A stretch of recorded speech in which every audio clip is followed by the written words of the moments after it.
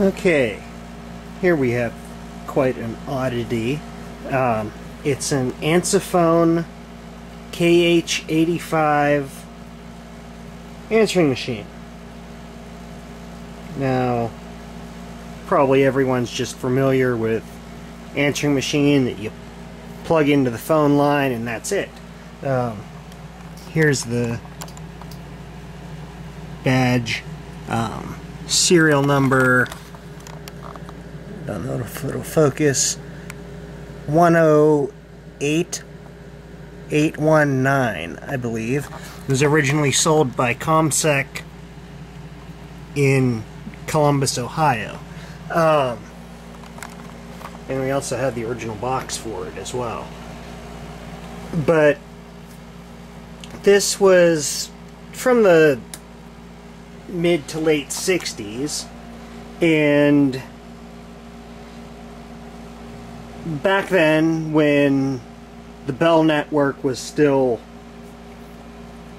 um, together before it was um, liquidated you were not able to plug anything into your telephone line the telephones were either hardwired or had the um, four-pronged plug instead of a modular jack. All the telephones were owned by the Bell system and you could not modify them in any way. So this is a fairly ingenious device in that it records will it'll answer your phone for you play an outgoing message and record an incoming message all without use all by using the actual phone and how this works is underneath the telephone here. You can see that little raised area is an induction coil that senses when the ringer is operating. These little arms here will actually lift the phone up and the unit will play the outgoing message which comes there's a speaker down in the cabinet about right here and the sound comes up through this little perforated grill to the mouthpiece and um, then the conversation or the incoming message is recorded through this induction coil that goes around the earpiece of the telephone. And that wire goes down through here and is plugged into the to a jack in the back here. So, um, and I'll take it apart and show you a little bit later, but let's power it up and show how it works. Okay, first of all, you can see the switches on here. We have the power on and off, um, volume control, absent light, which I'm not quite sure. I don't have the manual for this, but I did find the patent for it. And you can see here, patent was filed July 8th, 1963, and it was granted on April 2nd, 1968. Patent number 3376390 and I've been able to figure out a little bit about that a little bit about it from that and as well as how to route the tapes in it. This is an internal view of it and we'll get to that. But here we have confirm which is to play back your outgoing message message which is to, to record your outgoing message, sorry. Listening plays back the message tape for the um, incoming messages, and record allows it to function as a recorder. A recorder to um, either a recorder or a speaker to either broadcast or record your telephone conversation. There's a simple tape ending tape end indicator, test button, a jack for an external speaker, and a jack for a monitor speaker and this select this switch here selects whether when it's in the record or amp setting either to record your conversation or to amplify it over the speaker um, and this center setting, when it says to absent, is when it is set for um, for an- to auto answer. Okay, so what we're going to do is switch to confirm. We're just going to play the outgoing message here. It took it took me about maybe three four hours to get this thing to actually work. Um, I don't know how long it had been sitting, not used, but there's a few parts missing, and we'll get to that. But okay, and we're showing it at the end of the tape. Let's see if I can adjust. That's a red light and the neon orange indicator, but we'll see if this will work. Hello. Thank you for calling. I currently cannot come to the phone right now. Please leave a message after the tone and I will get back to you as soon as possible. Thank you. Okay, so that worked. And um, the outgoing tape is shot. I had to, I was, um, had to splice it together a couple times and shorten it because when I had originally spliced it, it was too short. So then I had to cut some down, cut it down some, and yeah. Um, but we'll get to that when I show you the inside. But let's turn it on in auto answer, and we'll show the operation of this sucker. And I will give myself a call here.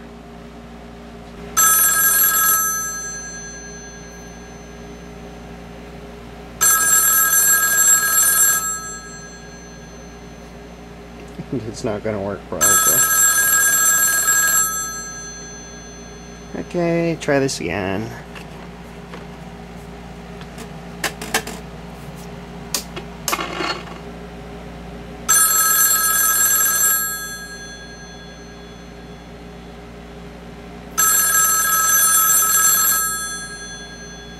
Fail. Alright, I'll be right back. Gotta see what, what this thing's doing. Okay, so I think I know what the problem is. It was working fine before. I don't know why it stopped working all of a sudden when it was just sitting here. Um, I'm going to try calling one more time and then I'm just going to tap the relay because that was what seems to be the problem. Or could be a failing capacitor or who knows what, but let's give it a shot. Hello. Thank you for calling. Currently cannot come to the phone right now. Please leave a message after the tone and I will get back to you as soon as possible. Thank you. Hello. I guess I must have just missed you. Um, give me a call back whenever you get this. Talk to you later. Bye. Okay.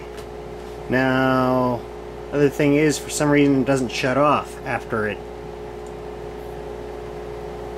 has started recording. It doesn't go back on hook.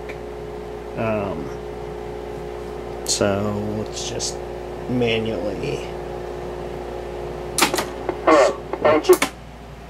Okay, so now we're gonna. There is no fast forward on this thing, so you got to run the tape the whole way through. So I'm gonna do that and see if we actually recorded anything on there. Okay, so while that is playing through the rest of the tape, we'll take a look at what's inside the front panel here. Um, what we've got are a relay relay banks, bank of or bank of relays, and that drives the different motor controllers, the um, the handset lifter, and um, the actuators for the um, tape rollers and everything. And right above that is a removable board, which I believe is the control circuit for the um, amplifier, or it's not the amplifier, the induction coils. I'm not positive. Um, and like I said, I didn't have a manual, so I'm just kind of guessing on this. But over here, we've got the fuse up on top there, then sensitivity and a time adjustment. And I believe that the sensitivity is for the um, for the induction coils and the time should be how long of a message it will record. But again I'm not positive. I have to read through the patent and see if it says anything about that. And then there's a CONT and fix um, which I believe I'm just taking well I'm taking a guess actually that it's continuous recording and fixed time recording, which your time is adjustable with the bottom adjustment. And right above that, I don't know if the camera can see it, um, there's a little tiny circuit board with a wire going to it that says TP, which I believe is test point. For what? I don't know. Um, but okay, so the tape has stopped. And this this is a, just a little little hinged door that's normally held on by two screws there. So we've got tape end at the end of the tape. And say you come home and you want to play back your messages. Okay, so it's set, set on absent, which is the answering setting. Switch to listening which of course it would start it would automatically start when um, to get to the end of the tape gets to the end of the tape tape end light comes on hit test button to advance it past the contact on the tape. And let's Hello. see I guess I you must have just missed you. Um give me a call back whenever you get that talk to you later. Bye. So actually it doesn't sound sounds pretty decent actually. Um, considering we've got probably like 20 30 year old tape in this thing. Um, so we'll shut it off and then we'll take the phone off and see what's under the cover here. See what's under the hood. Okay so here's where you see is the induction coil to pick up the ringer and where the speaker is there's two little thumb screws. Now, as I was saying before, there's a few things missing on this. There's supposed to be, a, right where this hole is, there's supposed to be a little latch that, it's like just a little hook that will pull this to about here for a neutral position for the tape rollers. I'm not really sure what the purpose of that is. I'm guessing it's probably if you're not using the machine for extended periods of time, you won't end up with a flat spot on the roller. Um, as you can see, there's the two tape rollers right there. Under normal conditions, the here you can see that would move those rollers a little bit. But anyway, so there's the uh, erase and the recording head for the outgoing message, and I had to actually put a little piece of felt weather stripping on there because the pads that were on were supposed to be on it weren't there anymore. And here's the record and playback heads the for roll, the, the little clips that are supposed to hold the rollers on are missing on that roller, this one, and this one. And there is supposed to be, where this hole is, there is supposed to be another roller where the tape would actually come out like this instead of just being wrapped around the sensor like that. Which this right here and that little thing are the end tape end of tape sensors and um, as you can see on the well let me move it a little bit here you can see on the outgoing message tape, there's a little piece of metal contact, um, which is actually just a little piece of aluminum duct tape. But that is actually what sends the signal to start or stop the tape or switch from incoming to out or outgoing to incoming. Okay, so this is just a um, tape magazine for the incoming tape. It's a continuous loop. And again, where the splice is on that, it has a little strip of that aluminum tape. This is not actually the original spool. The original one would have been a little bit bigger than that. Um, it operates similar to an 8-track tape. It pulls the tape out of the center. Actually, I believe we can, I believe the cover comes off of this. Yes. There. It pulls the tape out of the center of the spool and pulls it around the loop and then it goes back onto the outside of the spool.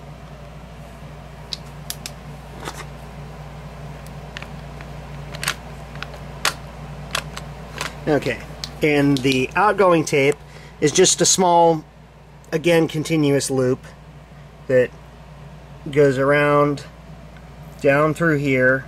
This is a little tensioning roller, which isn't doing much because, like I said, the tape is kind of messed up. But it goes down around this roller, back around that center roller. It's supposed to go back down around this center roller, then back around the bottom roller to this roll to that bottom roller, and then up to the head assembly.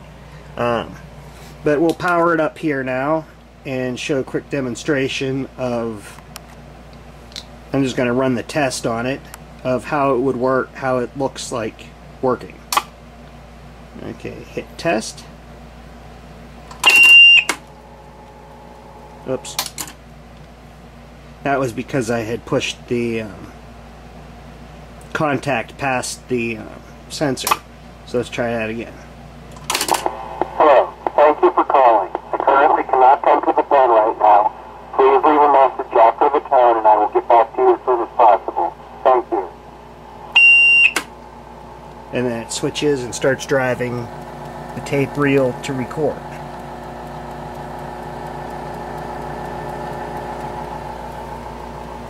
Okay, so we don't really have to do anything else with that. Um, but another problem that I was having with this was that the motor was just randomly it wouldn't start sometimes. So I oiled it and it still wasn't starting and well think part of the problem of oops I don't want the tape falling out. But this is inside it and there you can see the speaker. Um, part of the problem is this motor casting, the lower or the back casting of the motor, the front one looks fine, but the back casting of the motor is all almost looks like it's dry rotted actually, but it's completely cracked. I'll see if we focus on that. See all the little hairline cracks on that. And you can also see where the oil is actually soaked from the bearing through the casting. Um, so I don't know if there's any way I can repair that or try and fit a different motor in there. But nothing much to look at in here. Just capacitors, there's the power power transformer. Yeah, that's about it. There's the capstan flywheel and the belt going to the motor. But there we have it. Ansafone model KH85 from probably about 1960, 1965, somewhere around that era, era of time. There we go. Thanks for watching.